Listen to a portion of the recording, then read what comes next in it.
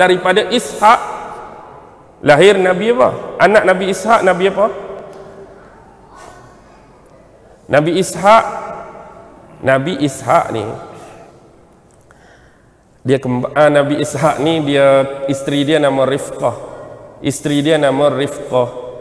Jadi dia dia beranak isteri dia beranak dapat anak kembar. Nabi Ishak ni isteri dia Rifqah melahirkan anak kembar. Abang nama Aisu adik dia nama Yakub Yakub jadi Aisu ni dia jadi dia nak jadi ni Aisu ni kes dia sama macam nak jadi kes Nabi Yusuf. Jadi dia nak perhatian lebih daripada bapa dia Nabi Nabi Ishak tadi. Tapi Nabi Ishak lebih nampak macam menyayangi Nabi Yakub. Jadi takut jadi macam-macam dia buat ke adik dia ni dia hantar kepada pak saudara dia Laman iaitu adik-beradik kepada Rifqah ni di satu kawasan tempat Nabi Ibrahim berasal dulu di Faddam Arab.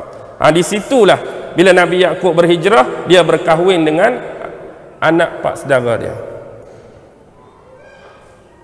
Dia kahwin. Berapa orang? Dua. Layah dengan Rahil. Layah dengan Rahil. Jadi bila nak kembali semula ke tempat uh, bapa dia Nabi Ishak tu dibekalkan oleh bapa mertuanya dua orang pembantu Zalfah dan Balhah. Jadi ada berapa isteri? Ada empat. Asal kahwin Layah dengan Rahil.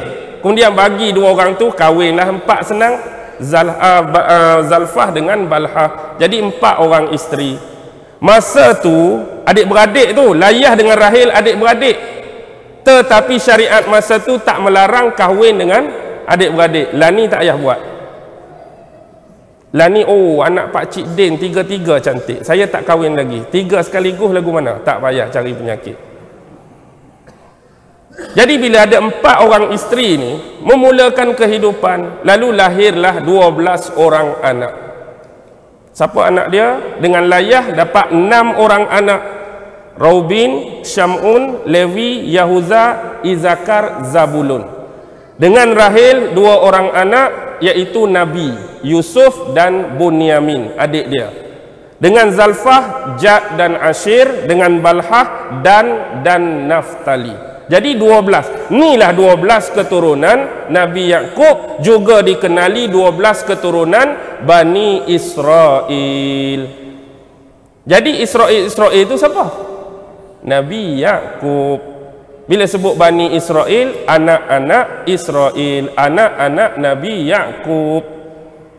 Anak-anak Nabi Yakub. Pasal apa Nabi Yakub dikenali sebagai Israel? Apa maksud Israel? Hamba Allah, Abdullah.